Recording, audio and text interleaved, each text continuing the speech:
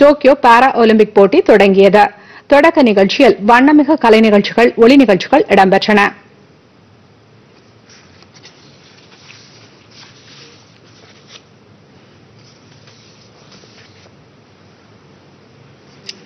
இன்றைய தொடக்க நிகழ்ச்சி அணிவகுப்பில் இந்திய ஈட்டி எறிதல் வீரர் டேக்சன் தேசிய கொடியை ஏந்தி அணியின் முன்பாக சென்றார்.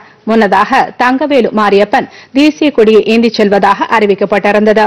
ஆனால் அவர் டோக்கியோ செல்லும் வழியில் கொரோனா தொற்றுக்குள்ளானதால் தனிமைப்படுத்தப்பட்டுள்ளார். டோக்கியோவில் இன்று தொடங்கும் பாராலிம்பிக் போட்டியில் இந்தியா சார்பில் ஐம்பத்தி நான்கு வீரர் வீராங்கனைகள் பங்கேற்கின்றனர்.